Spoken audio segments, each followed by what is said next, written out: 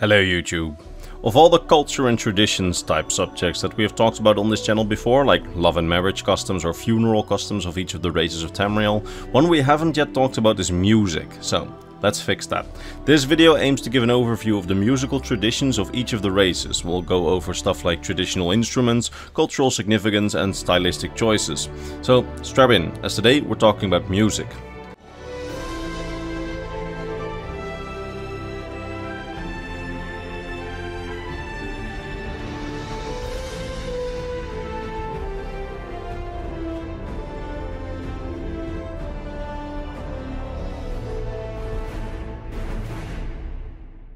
Alright, so on Tamriel music is a quite significant presence in basically every culture. In almost all inns and taverns around Tamriel music is played and performed. Performing music, just like in our own universe, comes in all shapes and sizes around Tamriel, from professional bards playing in kingly courts or a tavern, to the sea shanties on the high seas, to drinking songs known by many a tavern regular. There's also many religious songs, with the worship of certain deities going hand in hand with communal songs.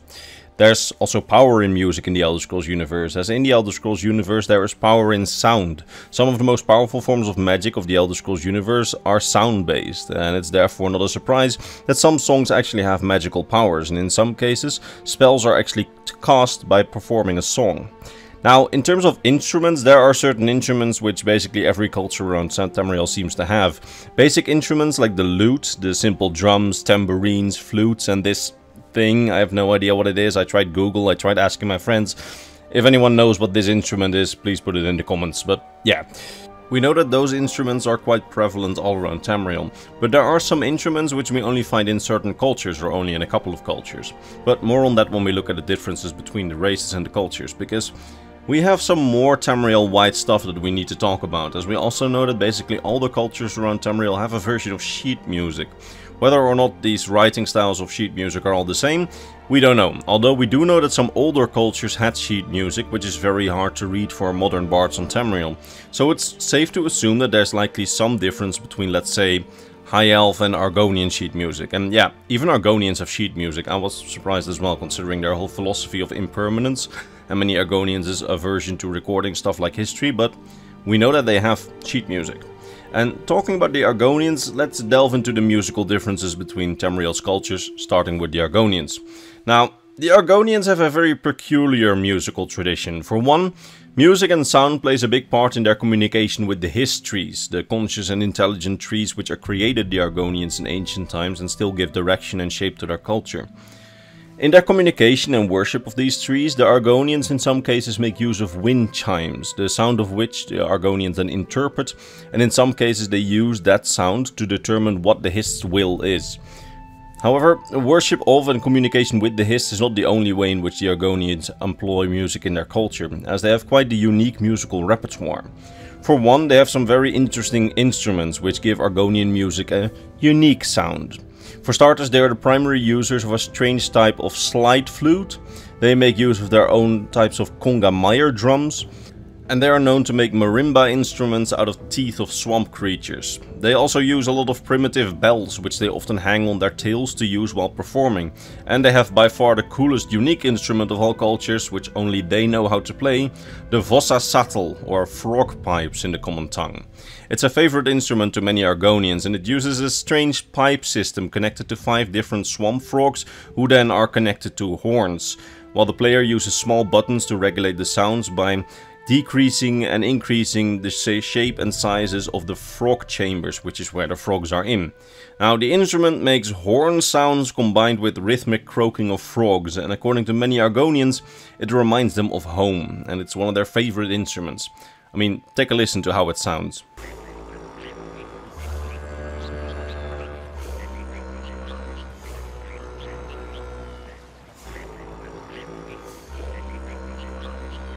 Grand. Now, while we only have a few Argonian songs that we ever hear performed in the games, we know that they make use of throat singing often, and they often rhyme while singing. And the timing of their songs is a bit strange, as their songs often seem to have a very peculiar time change in them, with speed changes throughout the songs. And the songs that we can hear remind my friend, who knows a lot more about music than me and who helped me out with this video, he compared the songs of the Argonians to the modern day grunge style of music, as it often talks of negative emotions, however also of interconnectedness and connections. They sing of the negative sides of life, but also of unity within their culture. It's quite peculiar. Now, next up are the High Elves, or the Altmer, and as expected their musical tradition is completely different than the Argonians. For one, it's far more refined, no frog sounds in your Altmer songs. Rather, they are Tamriel's primary users of refined instruments. While other cultures do make use of instruments such as the harp, the theorbo and the lyre, the Altmer seems to be the primary users of this, and as far as I can tell they seem to be the only ones, at least in the lore that we know of, to make use of violins and triangles. The Altmer have quite a broad musical repertoire, as music seems to be a favorite pastime of many Altmer in their culture, and well-made songs, especially ancient well-made songs, are very appreciated by traditional Altmer. When possible, they tend to sing in the ancient Altmeri dialects, and especially the nobility and conservative Altmer tend to perform music which is said to have been written on their ancient lost homeland of Aldmeris. This music is said to be strange and convoluted, with the sheet music being very difficult to read for modern day Altmer, as it's apparently a far different system for modern day Altmeri sheet music. Now, musicians, especially if you're a good musician, that's a very respectable profession in Altmer society, and there are multiple institutions and guilds dedicated to musicians. For example, we have the House of Reveries, which is an institution built of artists of many kinds including many musicians. A link to my video where I cover that institution in depth is in the description of this video if you want to know more. Now, their songs themselves are often about their own history, their religion, also about how shitty humans are. They actually sing quite often about that. And they also often sing about their own kings, queens, nobles, noble families and institutions, which may have songs written in their honor, or just on their own request. Now something quite interesting is that in the original lore, High Elves seem to have been one of the very few races which actually constructed and used music boxes to play their most popular melodies. Now in the newer lore, some other races use them as well, such as the Imperials and the Dunmer, but originally the High Elves seem to have been the only ones, or at least almost the only ones. Now, in terms of musical style, I'll once more have to refer to my friend who knows far more than me as... I've got as much rhythm as that chair. Sorry about that. Anyway, according to his analysis, based on the very few songs that we have that the Altmer perform, they primarily use the classical ballad style of song. They use verses and choruses in a very storytelling manner, which likely came about as part of their religion, which venerates their ancestors. Now, according to my friend's analysis, they sometimes switch between a more classical style of ballad and a more modern type of ballad. Don't ask me why, because once more,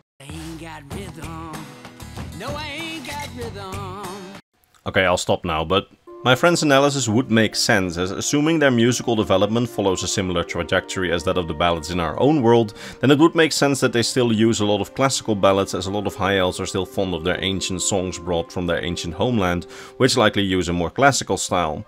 This couples nicely to their religion, in which their ancestor god Jephre is credited with inspiring and making the first great elven ballads and teaching birds to sing, thus being a patron god for musicians. Now, for the Altmer's cousins, the Bosmer or the Wood Elves, we have relatively little information. With a small pool of available song performances, there aren't many stylistic things that we can say about their music. From the few examples that we do have, my friend said it reminded him most of classical hymns, but even that is quite unreliable as we have such a small pool of information. In terms of the content of their songs, they mostly seem to sing about religion, their leaders, and of course about nature and the forest. They credit the god Y'ffre with the invention of music, having been the one to teach the birds to sing and considering children with a gift for song to be blessed by Y'ffre. Their priests to Y'ffre are called spinners, who are also often seen having instruments with them, likely meaning that Part of Y'ffre's worshipping involves song, but that's just speculation on my part. That being said, however, the Bosmer also have a few instruments of their own. For one, they are the primary users of castanets, which they use in combination with drums in the rituals. They also seem to be the only one to have nose flutes. Great. And they also seem to be the primary users of shams, which is an instrument I've never even heard about. And they have special handpans, which they use for religious rituals. And apparently they also have kazoos, although that could be an imperial instrument, as it's primarily found in a place which used to be occupied by the Imperials in Valenwood. And finally, they use pan flutes, which I guess is cool. Now there's one final bit that we can say about the Bosmer because we know that they use a quite fun material for their instruments, flutes specifically, as they tend to make flutes out of the hollowed out bones of Green Pact breakers, so Bosmer who hurt the forests of Valenwood. Isn't that quite interesting? Alright, next up let's talk about the Bretons of High Rock. The Bretons, more or less along expectation, have both elvish and human influences in their musical tradition. For one, in the traditional Breton pantheon, the god Jephre, just like with the High Elves, is also credited with the invention of music. And just like the High Elves, they often make use of the ballad style of song. Although apparently the Breton ballad seems to be more sped up and less classical and slow than the High Elf ballads, while retaining part of the original Elvish style. According to my friend, who actually knows this kind of stuff, it often reminds him of so-called folk ballads.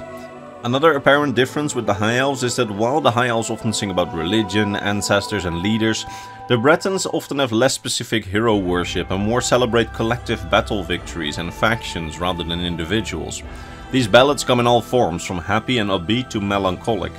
And finally, they also seem to have a few shanties and lament style songs, and the druid factions of High Rock also seem to have their own musical tradition.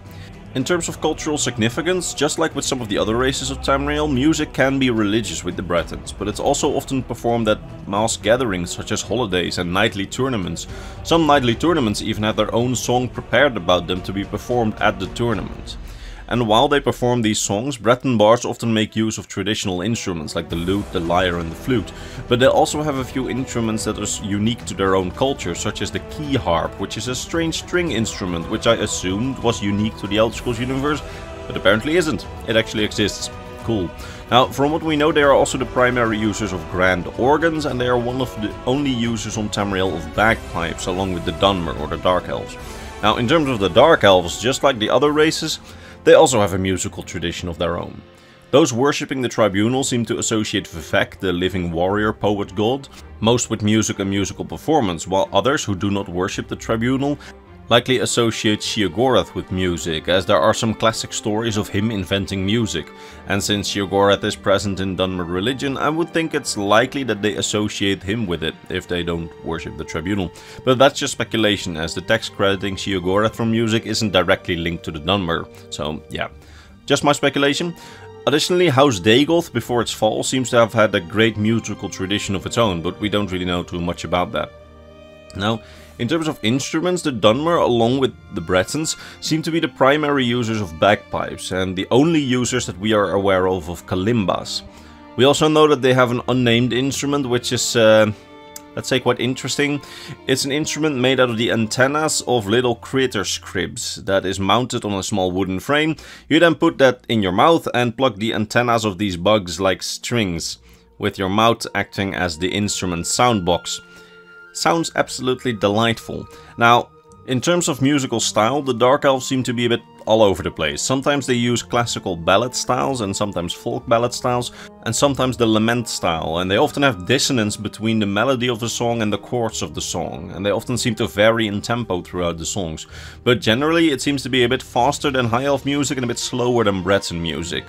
Now, in terms of what they sing about, a large section of Dunmer music seems to be about death, betrayal and violence, but they also have some more philosophic songs, and funnily enough, songs about animals, which you'd expect the Bosmer to have, but the Dark Elves seem to have more of. Although the animals in Dark Elf songs are often used as allegories for people in songs with an aim to teach people, mostly children, life lessons. Now, next up is another race that we know relatively little about, the Orcs. As far as I'm aware, we have no actual song performances from orcs, so we can't really say anything about their style. And we only have a handful of song texts, which doesn't really give us a good indication of what orcs would usually sing about, as the few songs that we do have from them are strangely predominantly love songs, which then are expected very violent in their lyrics. Along with Orcish culture. Now, having such a small pool of songs means that we can't really make any conclusions on the type of songs that they usually have, as love songs instinctively seems a bit of an outlier, although there is some evidence in item descriptions that orcs may have a lot of war chants and marching music, which then seems a bit more in character again. But having just some item descriptions is also not the bestest of evidence. The only thing that I'm confident in saying is that most likely their songs do have relatively violent lyrics in all their genres that they sing in, because that's in line with their culture and we have evidence of their love songs being so violent. Now, something that we do have a little more information on for the orcs is their instruments. For one, they seem to use a lot of horn instruments. Ironically, they also seemingly use harps, just like the High Elves, though I have to imagine them being a bit different from High Elf harps, most likely. And they also have a very interesting instrument that I wasn't able to find much of a real-life comparison to, which is called the Golk Leaf, which is an instrument with a single glass fiber string over which several bows, like a violin bow, are drawn to make sounds. It's basically a reverse violin. Instead of one bow string going over several violin strings, you have several different bow strings going over one golk leaf string. Interesting. And along with the Imperials, they also use squeeze boxes, which are basically accordions. Pretty fun stuff. Talking about the Imperials, the accordion seems to have been invented by them and then exported to the Orcs. And as I said before, Imperials may have used kazoos, and they seem to be the primary users of the Cornu, which is a large circular blow instrument made out of metal. In our own universe, they were mostly used by the ancient Roman legions, it seems, so it seems fitting for the Imperials to use them as well. But considering the Imperials are by far the most cosmopolitan culture, we can also see them use instruments of the other races from time to time, which are then important to the Heartlands. That being said, the Imperials have quite the musical tradition of their own. Their goddess of music is Dibella, and they are the only race that we know of to have actual opera houses in the lore. And from Oblivion we also know that the Imperial City Arena, next to being used for blood sport, is sometimes also used for concerts, which is pretty neat. And the Empire has also sanctioned several different musicians guilds within the Empire, some even dedicated to a single instrument or family of instruments, like blow instruments. In terms of musical style, they seem to be close to the Bretons in terms of speed, and they don't quite have dissonance in most of their music like the Dunmer. Although they do sometimes use it. They sometimes seem to be closer to the Altmer in musical style, but then in other songs closer to the Nords. So their musical style is completely all over the place, which is kind of to be expected of a culture who is the most cosmopolitan of all the other races, and imports a lot of instruments, customs and musical traditions of other cultures into their own culture, as they have often ruled large parts of the continent.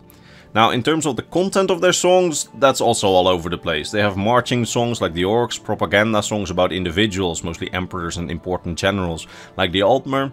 They have historical songs like the Bretons, and religious songs like basically all the other races. So basically, just like with musical styles and instruments, they are just all over the place and have borrowed a lot from others. Next up, let's talk about the Redguards. They are very similar to the Orcs in that we have just too little information about them to say anything about their musical style. However, we do know a bit about the content of their songs. For one, they often seem to sing about war, about conquest and about their ancient Yokudan past with the great conquest of Hammerfell in the first era being a prime subject for song.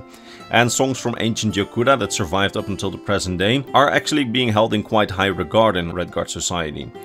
Even though some songs are now unplayable, as the Yokudans used very peculiar instruments like Yokudan flutes, which clearly look like flutes, but the way they should be played has been lost to history, as no Redguard alive knows how they should be played, which is quite interesting. We also know that the Red Redguards seem to be the primary users of pungi flutes, sometimes used by snake charmers, and they use tanburs, which is a technology that they apparently brought with them from Yokuda. And they seem to be the primary users of the zither, which is also a real-life instrument that I'd never even heard of, so good job Elder Scrolls for educating a barbarian like myself.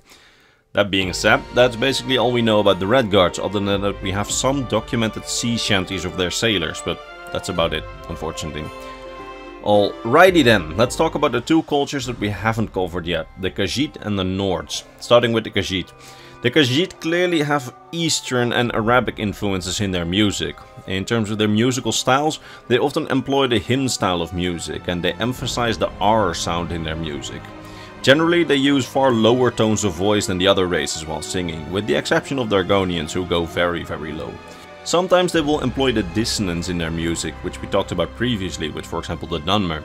And what's interesting is they often employ a completely different musical scale than the other races of Tamriel, because the other races of Tamriel use the real-life Western scale for music, which uses 12 notes. The Khajiit instead seem to use a musical scale more reminiscent of the real-life Arabic scale, which uses 7 notes. In terms of the content of their songs, they often sing about their own culture, their history, their myths and their religion, and that religion part is actually quite logical, because their goddess Khenarthi, which is also the goddess credited by them with giving music to the world, is partly worshipped by performing music. While they do have some light-hearted folk songs, even those seem to have a more professional and coherent composition than most of the folk songs of other cultures. Now, my music friend listened to all the song performances that we have and he said that in terms of musical style, the Khajiit seem to be most consistent and mostly uniquely designed by the Elder Scrolls developers, which is pretty cool and definitely also goes for the rest of their musical tradition. Because for one, maybe except for the Argonians, the Khajiit definitely have the most unique array of instruments, because they have a couple of instruments that almost no other race uses. For one, they have the Khajiiti Qanun, which in the real world is an Arabic string instrument played while sitting down and plucking the strings of the instrument. They also use the Azrash or Azrai, I don't know how to pronounce it, which is an instrument based on the real-life Indian string instrument, which no other race on Tamriel seems to use, and in my opinion sounds pretty sick. I mean, listen to this.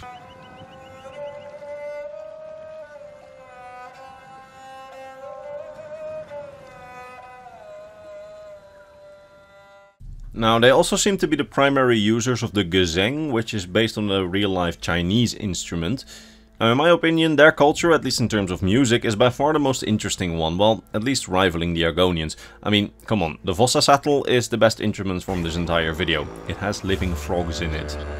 Alright, now that brings us to the final culture that we will talk about in this video, the Nords. The Nords, quite unsurprisingly, have quite a storied musical history, as Nordic bards, or rather skalds as they are called, are often revered in their culture, and in a way they are the ones who sometimes are the only ones crediting with keeping Nordic history and culture alive, as they sometimes simply are the only ones to record certain events in history when others just won't do it.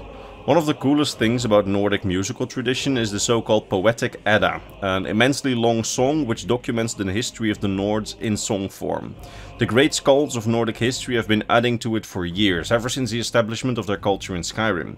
This massive song, based on the real-life poetic Edda that we have of some parts of old Viking culture, is immense, spanning thousands of years of skalds adding parts to the song, with some parts inevitably lost to the histories. And in Skyrim, during the Bard's College questline, we actually try to retrieve a part of it, and there we also learn that the poetic Edda is often referred to as Skyrim's living history, which is just super cool to me. I mean, some parts of this song are just straight up lost, some of them are known, some of them we don't really know in what, you know, order they are. But we do know that everything in this song is part of Nordic history. And it's added to by skalds of many, many generations. That being said, in terms of musical style, the Nords are surprisingly similar to the Altmer or High Elves. Didn't expect that, did you? Well, neither did I. They often seem to employ the ballad style and sometimes more melancholic style of music, although their words are often less high class, so to say, uh, than the Altmer, as their songs are often subject to quite stereotypical Viking subjects. You know, fighting, drinking, the old gods of the Nordic pantheon, drinking songs where someone is made fun of, and just exaggerated legends and glory, that kind of thing.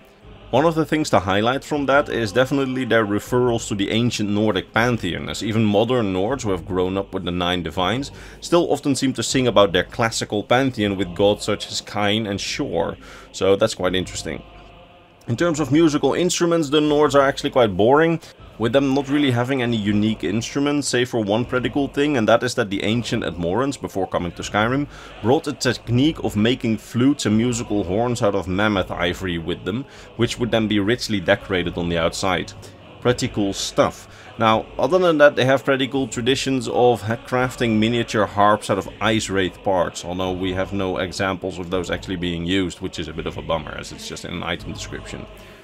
Alright, now that's basically everything I can say about the musical traditions of Skyrim's primary cultures, and I sincerely hope that you enjoyed this video and that I managed to teach you something new about the Elder Scrolls lore.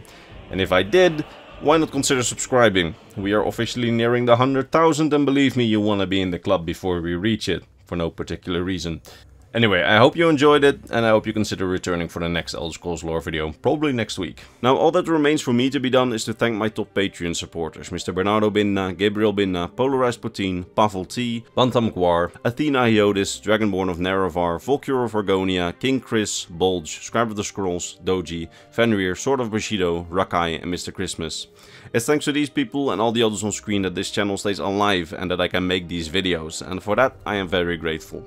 That said, I hope to see all of you in the next Elder Scrolls lore video, probably next week. Bye bye.